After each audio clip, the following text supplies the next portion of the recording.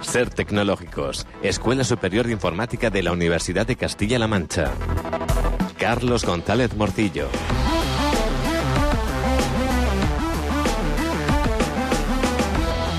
¿Qué tal? Muy buenos días, Carlos. Buenos días, Gemma. Bueno, ¿qué tal esa Olimpiada? Muy bien, ¿no? Estupendísima, disfrutó la gente un mogollón. Nos alegramos. Ya los oyentes pudieron medio hacerse la idea el viernes por la mañana, pero bueno, ¿quién se ha llevado el gato al agua? A ver.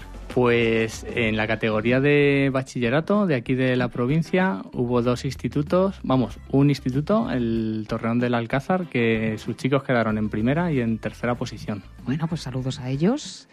Y bueno, que era nivel, eran las Olimpiadas de Informática, estamos hablando, para quien no nos haya escuchado, que se desarrollaron el pasado viernes en la Universidad de Castilla-La Mancha, concretamente en la Escuela de Superior de Informática.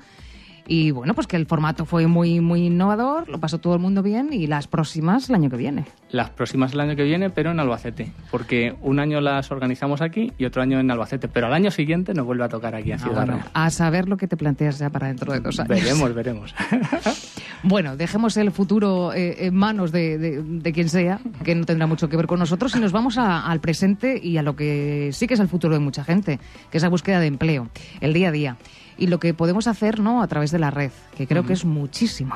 Sí, eh, traía una serie de herramientas, algunas que posiblemente nuestros oyentes ya las conozcan y otras que serán grandísimos descubrimientos para muchos eh, por dos motivos. En primer lugar, por la utilidad que tienen y en segundo lugar, porque son de origen manchego, de origen ciudad realeño. Yo creo que puede sorprender a muchos de nuestros oyentes que herramientas tecnológicas tan potentes hayan nacido aquí. Ah, venga, cuenta. Pues mira, eh, mm, en la categoría de portales de búsqueda seguro que muchos de nuestros oyentes conocen Infojobs. Infojobs no es de origen manchego, es, eh, puedes entrar en infojobs.net y es la bolsa de empleo privada online eh, específica para el mercado español más grande que hay. ¿eh? Si, si alguno de nuestros oyentes no lo conoce, pues es eh, una empresa que actualmente cuenta con más de 200 eh, trabajadores y bueno, pues aparte de una cantidad increíble de ofertas de empleo. Lo que tiene también súper interesante son unos estudios de mercado y de puestos emergentes o si ahora mismo tienes tiempo y desafortunadamente estás en el paro, recomendaciones de qué tienes que hacer para encontrar empleo, ¿verdad? Y bueno, pues según el último estudio reciente de mayo del 2013, de las seis primeras profesiones que más se demandan en Infojobs, Gema, a que no sabes cuatro de ellas con qué tienen que ver. Yo creo que sí. Te lo podrías imaginar, Sí, ¿verdad? sí, me Pues, podría imaginar que me confundí absolutamente. bueno, eh, cada uno tiene que dedicarse a lo que le guste, pero dentro de lo que te gusta es posible que puedas encontrar tu nicho dentro de la informática. ¿no? Cuatro de las más demandadas actualmente son informáticas, programador de aplicaciones móviles, programador HTML5, con sueldos de entre los 38.000 y los 25.000 euros, que está bastante bien. Eh, otra de las herramientas que os quería comentar, que esta sí que es de origen manchego y es súper interesante, es The Public, que, se puede entrar en thepublic.es, que es un servicio web de estos de computación en la nube, ¿te acuerdas? Sí, no? sí, sí. Pues Empezamos eso- en las nubes, Sí. también se acordarán los oyentes.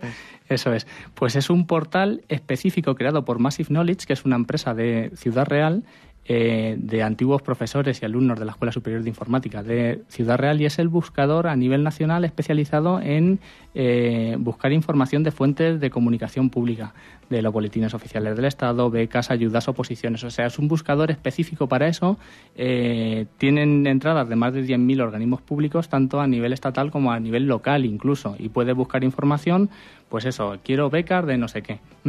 Eh, y viene funcionando desde el 2010, entonces se puede con- eh, consultar cualquier información desde ese año en adelante.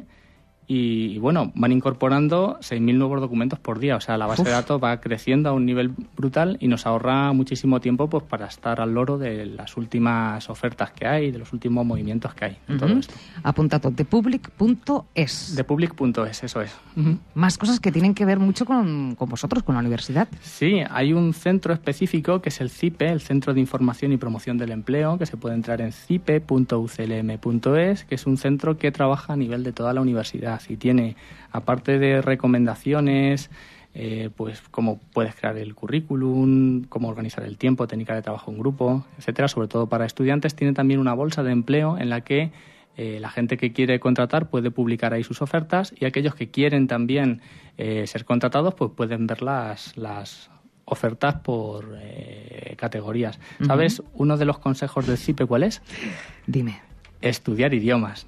Han hecho el estudio y en los últimos cuatro años desde el 2008 ha pasado desde un 38% de ofertas de empleo que requerían idiomas hasta el 76% en el 2012. Bueno, herramientas. Eh, bueno, mm, hay una red social que se llama LinkedIn, que no sé si tienes perfil, Gemma. Sí, creo que nos hemos encontrado. Sí, sí. bueno, pues LinkedIn es una red social que nació en el 2003 y está especializada en contactos profesionales. Entonces, eh, hay muchísimos empleadores que buscan perfil de candidatos en LinkedIn y puntúa muy bien eh, estar en LinkedIn y tener ciertos contactos profesionales. A modo de advertencia para la gente que se anima a subir cosas en YouTube y en redes sociales y todo eso, que cuidadín, cuidadín, que en muchos sitios en donde hacen entrevistas de trabajo, primero hacen búsquedas por internet y ven qué pueden encontrar de cada candidato. Entonces, eso de subir vídeos alegremente a YouTube haciendo el gambas, pues cuidadito, que sé de muchos amigos que tengo que están en, eh, en encargados de la selección de personal que lo primero que hacen es buscar. Y bueno, algún antiguo alumno nuestro que aparecía con, en su proyecto fin de carrera descamisado enseñando cosas, le dije, hombre, esto tienes que quitarlo, ¿eh? que no es una buena carta de presentación, ¿no? Nos tenemos que, despedir, pero quedan más puntos que tratar. Los trataremos en, otro programa. Correcto. Eh, a los oyentes eh, ya les contaremos también dónde podrán cotillear eh, esa Olimpiada para que puedan ver cómo, cómo fue, cómo se desarrolló. Pero ya pueden también disfrutar de todos los enlaces, ¿no? Porque están en, una página, ¿no? Podemos ver lo que se ha ido, lo que ha ido ocurriendo en Saltos Tecnológicos. Está todo ya subidito. Sí, está en el canal YouTube de la Escuela Superior de Informática, que es en youtube.com barra user barra esiuclm en SIUCLM, si nos buscáis ahí, están todos los tecnológicos con los correspondientes enlaces, eso es. Pues ya saben que si quieren comentar alguna cosita o algún tema que les interese, 926, el contestador, 926 21 94 53, ciudadreal.cadenaser.com.